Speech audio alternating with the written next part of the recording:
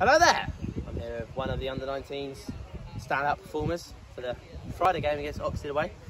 Uh, with the under 19s playing twice in a week, Wednesday at home to Reigate, a tough loss, and Oxford away taking home a good win by six wickets.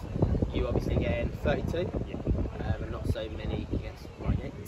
Uh, tell me about them two games. How are you feeling after them two results? Yeah, good. I haven't been batting too well recently, but I think I, I did a lot better than I thought I would, to be fair. And yeah, just took it deep, you know.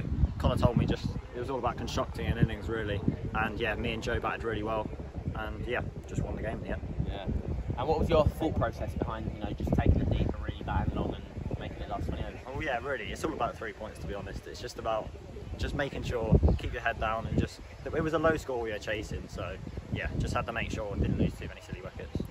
Obviously 16 years old, so playing an under 19 competition, yet being one of the old ones.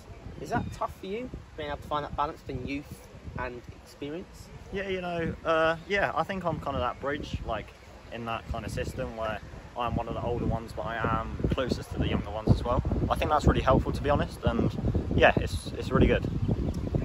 You ever talk to your captain about, you know, potentially leaving the under 19s in a couple of years' time when it, obviously the older boys get too old? Yeah, personally, nothing's a given, but you know, uh, yeah, I've captained my age group through the years, and I think I think the boys have enjoyed it, so hopefully they'll be happy for me to captain again. I'd enjoy being under you. Cheers, mate. Uh, two games next week. Yeah. Monday, Reigate away, and then we come back to home and cricket on Wednesday for our last outing in the under 19s, unless we go through. Looking forward to them. yeah, definitely. You know, uh, I don't think we take the m- momentum from last game into this one, and yeah, you know, I think everyone's in good form. Uh, you've been bowling really well at the end as well, so yeah, it's been going good. I'm batting very well in the middle, I heard. Uh, how big are them three points against Reigate? Oh, 100% mate. Like it, it's it's a win it's a win-win situation. We have to win every game we play, and yeah, at the moment, if we keep doing that, that's all we can do. Hope for the points.